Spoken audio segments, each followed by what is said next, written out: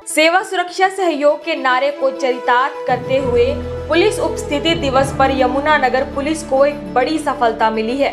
पंजाब से अपने ही मालिक के बच्चे का अपहरण कर बिहार ले जाने वाले व्यक्ति को पुलिस ने रेलवे स्टेशन के बाहर से गिरफ़्तार किया है। जानकारी के अनुसार ये पता चला कि वह व्यक्ति पंजाब से जहाँ काम करता था, अपने ही मालिक के बच्चे को उठाकर बिहार ले जा रहा था।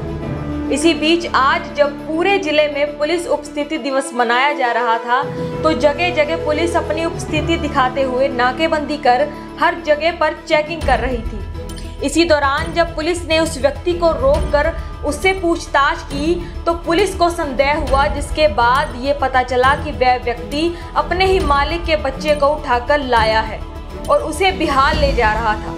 फ़िलहाल इस मामले में पुलिस ने पंजाब पुलिस को सूचना दे दी है। जानकारी प्राप्त हुई है कि बच्चे का अपहरण दुकान पर काम करने वाले नौकर ने ही किया है। वह भी सिर्फ़ महज आठ हज़ार रुपए के लिए। नौकर को दो महीने की सैलरी नहीं मिली थी, इसीलिए उसने बच्चे का ही अपहरण किया।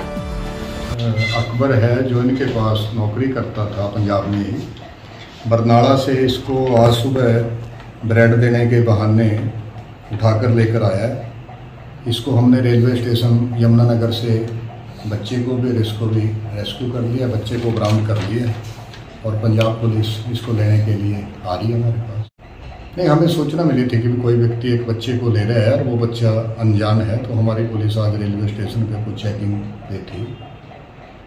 पुलिस प्रेजेंस डे था आज हमारा तो उसमें हमने तुरंत उसको बच्चे को किया, उससे पूछताछ करी तो पता चला कि बरनाला से लेके आया नहीं, इस संबंध में पंजाब में ऑलरेडी मामला दर्ज है, बरनाला में। वो चल पड़े। ये आज सुबह लेके आया है वहाँ यमुनानगर से रजनी सोनी की रिपोर्ट युग मार्ग टीवी।